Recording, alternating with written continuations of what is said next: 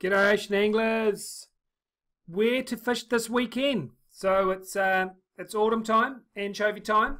Let's have a quick look at the weather and the tides. So tomorrow, Saturday, in the morning looks really good. This is for the noisies. So in the mornings, you know, really good. And then there's a bit of a southwesterly coming up in the afternoon. So be careful of that if you're going venturing out far. You know, don't trust the old southwesterly in Auckland. So if you want to go fishing, go in the morning. Let's see what the tide is on Saturday morning. Here we go here. So we've got a 6 o'clock low tide, so that's really good. So the fish should start biting at about, say, 7, and then it's high tide at 12. So 7 to 11, that'd be a good period to fish. And then on the other side of that, but it's a bit windier, uh, would be, say, your 1 o'clock till uh, 5.30 kind of period. So my pick on Saturday would be the fish the morning incoming tide with the lighter winds. Let's have a look at Sunday. So Sunday we've got southeasterlies and then uh, dropping off and have a bit of a uh, switch around in the wind on uh, Sunday. So that can often bring the fish on. So I'd be looking if I was going on Sunday to fish in the afternoon. Let's have a look at the tides because we want to be fishing when the tide is flowing. So in the afternoon it's high at 12.40. So the fish should start biting about 1.30. So Sunday my pick would be the afternoon. So from say 12 from 1 till like 6 that would be the best time to fish on Sunday in my opinion. So Saturday, fish in the morning. Sunday, fish in the afternoon. Things can change, so check the weather. Let's have a look about where you should go.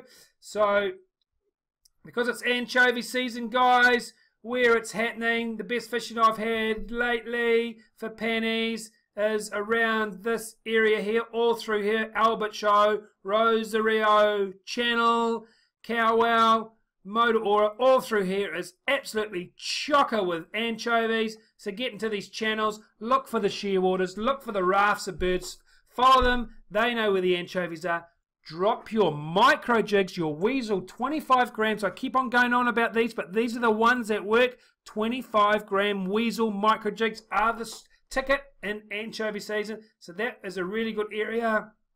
Another place to go that's going to be loaded with the anchovies is along this coastline here. That would be another good place to look.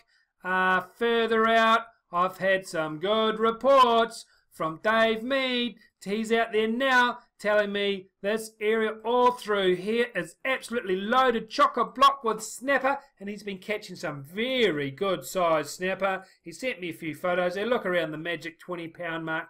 Fishing all around here, people. This seems to be the hot spot for out deep.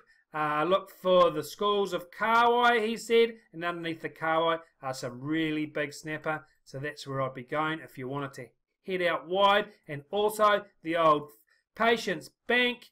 Very good time of year for that, which is this bank here. We call it the Patience Bank because you have to drift along for at least 20 minutes to half an hour before you may catch something. But when you start catching them, it seems to bring them on the bite and the school gathers around the boat. So around here, as well. Make sure it's calm.